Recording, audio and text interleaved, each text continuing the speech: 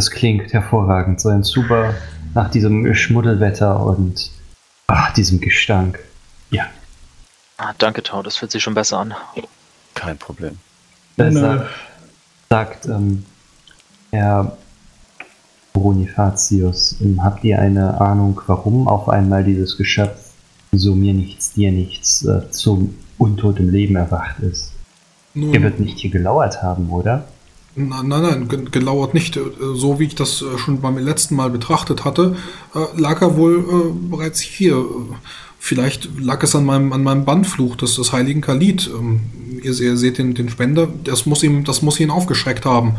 Vielleicht ist er deswegen so ausgerastet. Ähm, und, und ich weiß nicht, warum die anderen sich nicht bewegen, aber ich bin zumindest sehr froh, dass, dass sie uns verschonen. Oh, ihr müsst mir mehr über diesen Bannfluch erzählen. Das klingt ähm, Ja, das, das werde ich tun. Diese Würmer leben in toten Drachen oder leben die auch in lebendigen Drachen? Sie sehen mir fast aus wie ein Bandwurm. Die gibt es sicherlich auch wohl. Seid ihr, seid ihr nicht jemand aus dem, aus dem äh, tiefen Süden? Ja, durchaus. Och, Aber mir ist sowas noch ich. nicht über den Weg gekommen. Und dann müsste es die Bandwürmer doch auch geben, in, in Humanoiden. In Humanoiden? Ja, Bandwürmer schon, aber so einen großen. Sieht mir aus wie, ein, äh, wie eine vergrößerte Variante für einen Drachen. Dann hat er auch noch diesen Faxius ohne Probleme weggesteckt. Muss sehr robust gewesen sein. Sehr robust. Nun, wenn er einem äh, Drachen vom Innen heraus widersteht, den giftigen Säuren und dem alles zersetzenden Drachenspeichel, muss er in der Tat sehr, sehr, sehr widerstandsfähig sein. Ich glaube, ich glaube. Magister, Magister Iolaos und äh, Magister Abelmir haben dazu eine Thesis im Jahr des Feuers angefertigt. Die liegt in Gareth. Die müsste ich mir einmal besorgen. Drachenbandwürmern? Ich wusste gar nicht, dass sie dazu geforscht haben. Nun, ich, Das war auch meine Einschätzung. ich glaube, ich äh, las etwas in den, in den verbotenen Archiven. Äh, irgendetwas zu, zu einem äh, Drachengeist namens Vorboroch. Ihr lasst in den verbotenen Archiven. Ist das nicht äh, verboten? Nun, Naja, verboten, verboten verboten ist ein dehnbarer Begriff, Travigor. In der Tat haben wir Geweihte Zugriff auf gewisse Werke, die anderen verborgen bleiben. Oh, ist richtig, das, das macht natürlich Sinn. Wir müssen ja wissen, was wir verfolgen und was wir ächten. Also gut, dann, äh, ich, ich bin gleich soweit. Dann lasst uns so schnell wie möglich aufbrechen. Ado, ihr seht wirklich nicht gesund aus. Dann ein Bier, ein Zuber und dann, dann werden wir morgen noch einmal wiederkommen. Tau, Mir machen, mir machen diese Gänge noch etwas Sorgen. Ich weiß nicht genau, was ich mit diesen Gängen anfangen kann. Dinge? Was für Gegner? Als wir das Massengrab ausgehoben haben, hatte ich gesehen, dass äh, irgendwie jemand äh, das, das, das Schlachtfeld untertunnelt hat.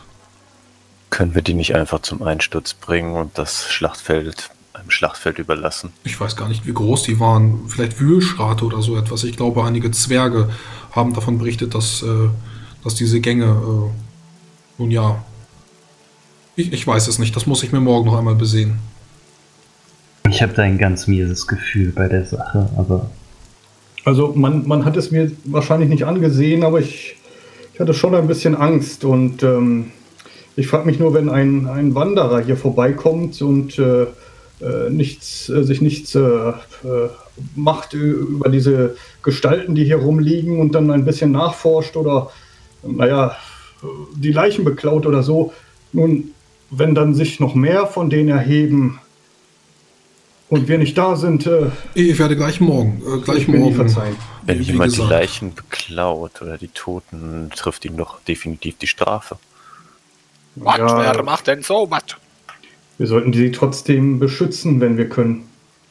Wir können ja morgen ein Schild mitnehmen und Wanderer dafür warnen, dass ein Schlachtfeld voraus ist. Sehr gute Idee. Daran hat Ja. sich bisher jeder gehalten. Das klingt gut, genau. Also gut, dann, äh, Vorsicht, Untote. Wie Eltern überall für ihre Kinder. Nun lasst uns nicht weiter spotten. Ähm, gehen wir zurück, morgen beseitigen wir den Rest. Auf, auf. Zwei Stunden noch, dann sind wir da. Ja, so könnt ihr dieses Abenteuer abschließen und als gefeierte Helden zurück nach Hallingem kehren. Ihr könnt äh, direkt neben der großen äh, Gerichtslinde in, das, in den Pereine-Tempel, in den Travia-Tempel einziehen, ähm, der euch dann als äh, Gastwirtschaft dient und äh, dort dann eben gemeinsam mit Herbo Ranfel und einigen anderen Bewohnern von Halligen dann sitzen. Buergol, der Bäcker, äh, Mittelfeld Storko, wie er genannt wird, der für die Falken von Rommele spielt, ist wohl anwesend. Allesamt hören sie sich die Geschichten von euch an äh, andere, die noch dazukommen, gerade wenn ihr dann von, äh, ja, nicht nur den Goblins erzählt, sondern dann auch von dem Kampf, wie, wie ja, Baron Travigor äh, episch wie ein Drachentöter dann den Drachen gerichtet hat und die anderen daneben standen. Ja, meine Freunde waren natürlich auch beteiligt. Also ich war das nicht ganz alleine, muss ich, muss ich bei meiner Geschei Bescheidenheit äh, gestehen. Ja, neben euch an dem Tisch hat sich noch ein äh, weiterer Baron gesetzt, beziehungsweise ein ehemaliger Baron, Rajadan von Bregelsaum Rosenbusch. Äh, Travigo hat er schon ihn kennengelernt und äh, weiß, dass er seine Baronie abgetreten hat, weil er Rohaya, die Kaiserin, verklagt hat. Eine Klageschrift eingereicht, weil sie Verfehlungen in der Wildermark begangen hat. Und ähm, bevor er seines Baronstitels äh, entmächtigt wird, hat er die Baronie abgetreten ähm, Baronie Rosenbusch. So sitzt er dann daneben ähm, und äh, ja, gibt euch ebenso einen Wein aus. Auch wenn ihr bestialisch ekelhaft stinkt, wegen diesem Tatzelwurm, aber ja, dafür, dafür später noch Zeit. Ja, also obwohl ich seine Taten nicht gutheißen kann, würde ich ihn natürlich den anderen vorstellen als ehemaligen Adeligen oder als ehemaligen Baron. Ah. Äh, das ist äh, der einstige Baron Rajadan von Bregesaum Rosenbusch. Ich habe ihn kennengelernt, äh, als wir hier angekommen sind. Hocherfreut. Ebenso. sehr erfreut. Ebenso. Ja, Was gibt es Neues aus Gare zu berichten? Sagt an.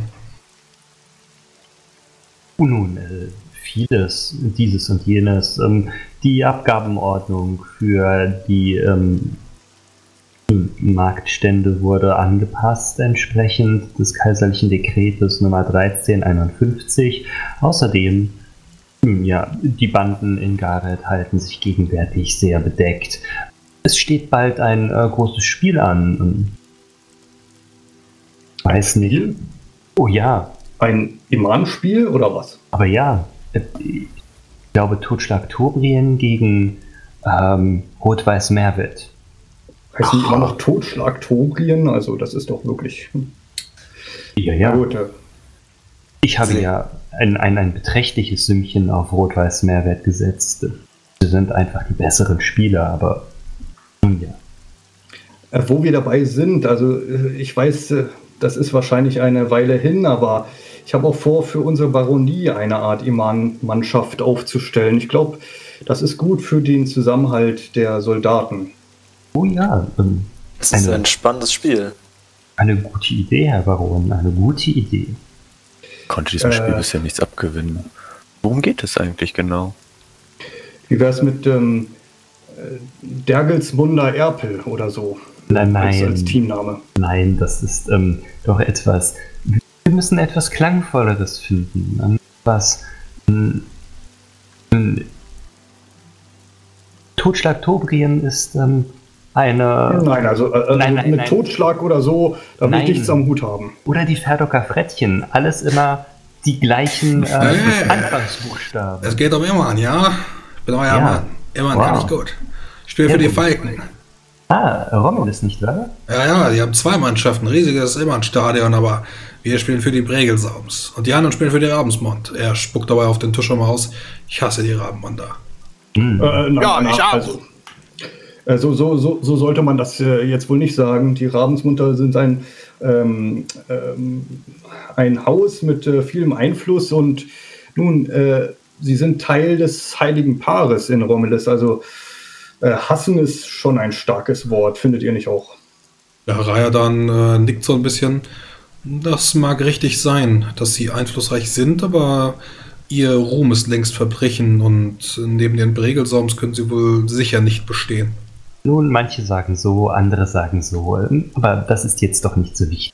Jedenfalls haben wir gerade über Iman geredet und ähm, wir haben uns überlegt, wie man einen guten Namen für ein Iman-Team äh, konzipiert.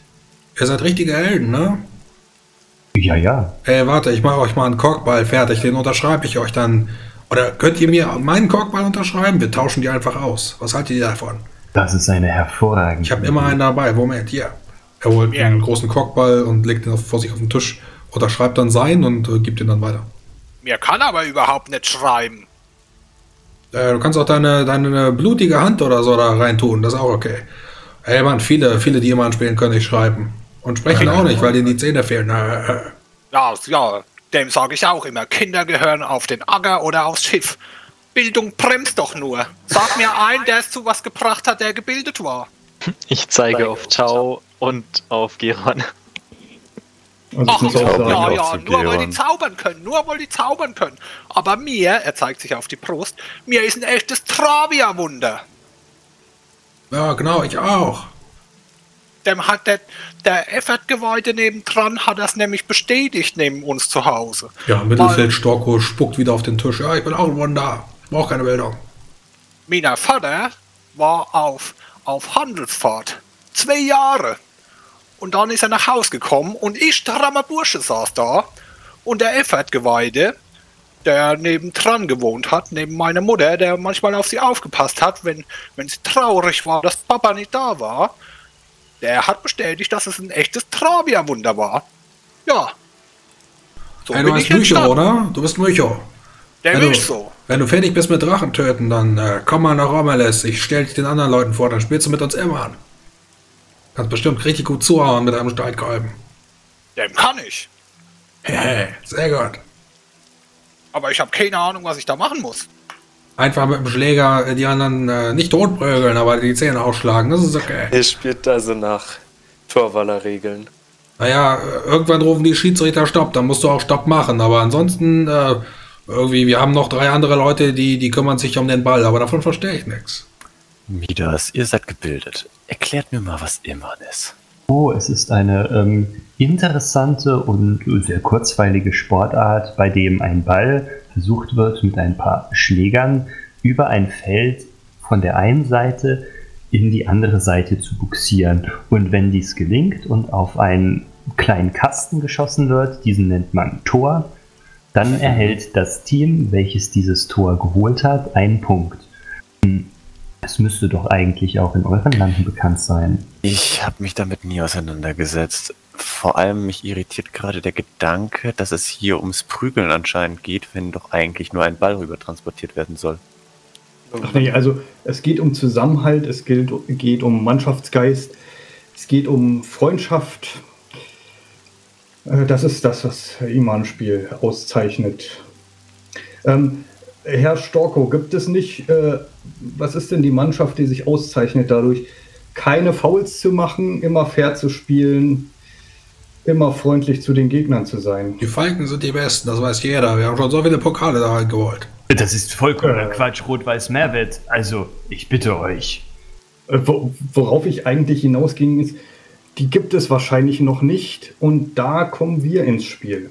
Die Nun, Dergelsmüller verzeiht, Erpel. verzeiht, Herr Baron. Ähm, ich war von eurem Ruf dann doch sehr angetan, als ich hörte, dass ihr ein Heldenbaron seid und zahlreiche Helden an eurer Seite führt.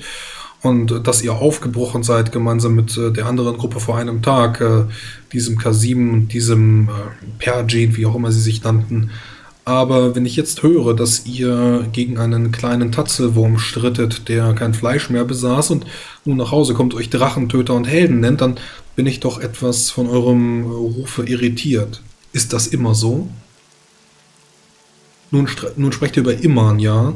Das ist dann das, was ein Held an einem zünftigen Lagerfeuer oder in einer Taverne tut? Äh, ja, ähm, ich kann nicht ganz auffassen, in welche Richtung, was, was ihr damit sagen wollt. Ähm, ja, wir haben einen, wir haben einen Drachen besiegt und äh, Einen ja, Tatzelwurm. Das sind keine Drachen. Nun, Äh. ihr se- seht vielleicht die anderen gefallenen Ritter, die meine Landsleute sind, waren, beziehungsweise die von meinem Lehnsherr, dem Burggrafen von Bregelsaum. Aber nun, ihr habt einen Drachen getötet. Wir derweil, als Verena von Mersing angriff, äh, sicherlich mehr als 20.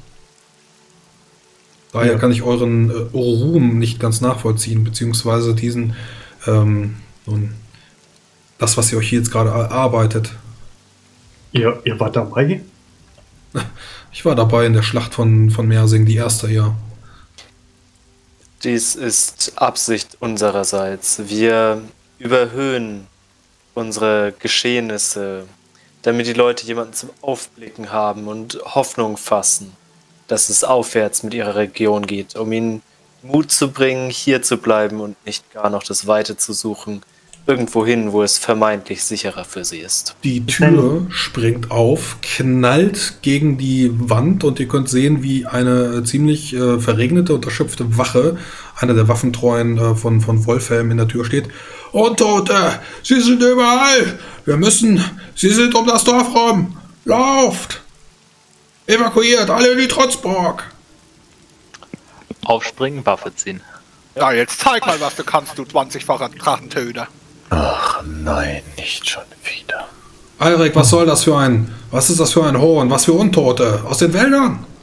Schlagen ja. wir sie zurück. Wie viele sind es? Hunderte, mein Herr! Hunderte, lauft! Ich würde in die Trutzburg laufen. Ja, der, die Wache, Alrik, äh, lässt euch dann auch einfach stehen. Die Tür ist immer noch sperrangelweit offen. Äh, er äh, schält so ein bisschen, so, so eine kleine äh, Klingel, die er dann bei sich hat, läuft dann durchs Dorf und Tote, evakuiert, alle in die Trotzburg. Währenddessen könnt ihr auch dann, äh, als ihr sehen, äh, ihr könnt sehen, wie ihr dann, äh, wenn ihr nach draußen tretet, ähm, alles ist dunkel, es ist verregnet, schwarz, aber ihr könnt das schon stöhnen hören. Ich habe Dämmerungssicht. Ähm, kann ich einmal auf Sinnesschärfe Sicht würfeln, um zu gucken, wie weit die noch entfernt sind? Kannst du tun.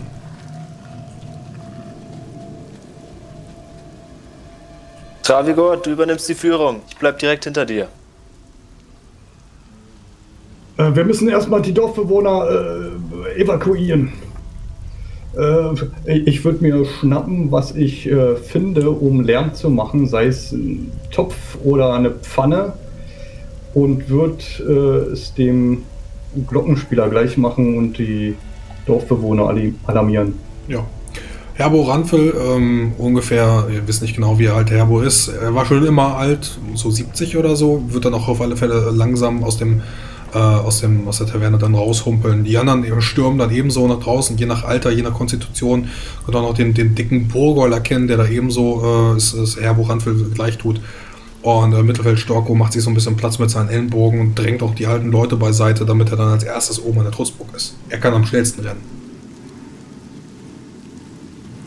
Midas, äh, Sie sind noch nicht in Hallingen, aber ähm, die Palisade können Sie sicherlich ohne Probleme überwinden. Ähm, also, du würdest sagen, nicht mehr als 100 Schritt. Es sind viele, es sind wirklich viele. Ja, dann äh, rufe ich das meinen Mithelden zu. Äh, Leute, es sind viele, wirklich viele, knapp 100 Schritt entfernt. Wir sollten uns wirklich erstmal zurückziehen. Wir müssen uns beeilen, ab in die Trutzburg. aus dem, Regen, aus dem Regen, aus der Nacht könnt ihr auch weitere Waffentreue erkennen. Das sind dann wohl irgendwie Leute, die die Palisade dann auch kurz verriegelt hatten. Lauf, das sind so viele, sie können klettern. Zieht euch zurück! Alle in die Trotzburg! Sind irgendwo Kinder? Dann würde ich mir vielleicht eins packen und das nebenher ziehen und wenn ich merke, dass es nicht klappt, dann unter den Arm klemmen, irgendwie versuchen, da zu helfen. Da helfe ich eher dem Wirt, der gerade nicht mehr gehen kann. Ja, äh, genau, also ihr könnt, ihr könnt Herbo Ranfel helfen, ihr könnt äh, dem Bäcker Burgol helfen, der wie gesagt fettleibig ist und äh, ja, alte Kinder könnt ihr auf alle Fälle dann als Helden, die ihr dann seid, äh, versuchen so ein bisschen zu unterstützen, könnt dann das Ganze zu organisieren. Würfelt gerne mal auf Kriegskunst, wenn ihr mögt, um das Ganze dann, oder ja, doch Kriegskunst, Logistik würde ich sagen, vielleicht auch Hauswirtschaft, na, Hauswirtschaft. Ihr könnt kann ich, auch noch Proben vorschlagen. Kann ich, kann ich auf Gassenwissen würfeln? Ja. Orts, Ortseinschätzung, ja. um guten Weg ähm, zu finden durch die Gassen, um möglichst viele Leute mitzunehmen. Äh, Gassenwissen ja, Ortseinschätzung auch. Oh. Ähm, also Gassen, äh, es gibt hier zumindest noch nicht so viele Gassen, aber ähm, die Trutzburg hast du noch nicht so von, von wirklich Namen gesehen. Wenn ihr dann aber den Berg hoch rennt äh, zu den äh, zur Trutzburg. Die, die ganzen ähm, Tore sind dann doch schon weit geöffnet. Äh, könnt dann auch sehen, wie einige Wachen euch dann auch reinwinken. Viele Lampen und Lichter, die jetzt im, im Inneren der Burg angezündet werden und äh, weitere Rufe, weitere Hörner, die sie, die jetzt gegeben werden. Ich würde die Leute eher beruhigen versuchen, trotzdem. In der Panik. Mit Heilkunde Seele als Option. Oh, ja, kannst du auch machen. Äh, Du siehst, wie, wie eine Wachperson vom Tor äh, auf dich zugerannt kommt, äh, dich schüttelt, packt dich so ein bisschen am Kragen. Lauf, Junge, lauf! Ganz ruhig. Wir schaffen das alle. Hast du gesehen, wie viele das sind? Hunderte. Ja, und die Trutzburg ist gut befestigt. Wir werden es schaffen. Sie können klettern. Er lässt sich los und rennt weiter. Ja, derweil, äh, ihr könnt versuchen, das Ganze so ein bisschen zu organisieren, äh, so Ketten bilden, äh, die die Schwächsten noch irgendwie zu beschützen, einzureihen, damit die dann nicht fallen. Gerade wenn die Alten oder die Kinder hinfallen, werden sie natürlich unglaublich schnell äh, totgetreten. Der Weg zu Trutzburg ist gar nicht so weit. Liegt natürlich so ein bisschen im, im Schatten des Dorfes oder das Dorf eben im Schatten der Trutzburg. Und ihr könnt dann äh, über die äh, Hügel, über, den, über die kleine Bergkette dann äh, nach oben ins Innere gelangen. Hinter euch, ihr würdet sagen, 100 Dorfbewohner. Im Inneren der Trutzburg soll es noch weitere 400 geben, die so ein bisschen aufgeteilt sind, so ganz grob. Also es gibt eine ganze Menge Kinder, es gibt eine ganze Menge Alte. Und allesamt lassen sie jetzt ihr gesamtes Hab und Gut äh, zurück. Martha Myho, du könntest überall Schätze mitnehmen, noch und nöcher.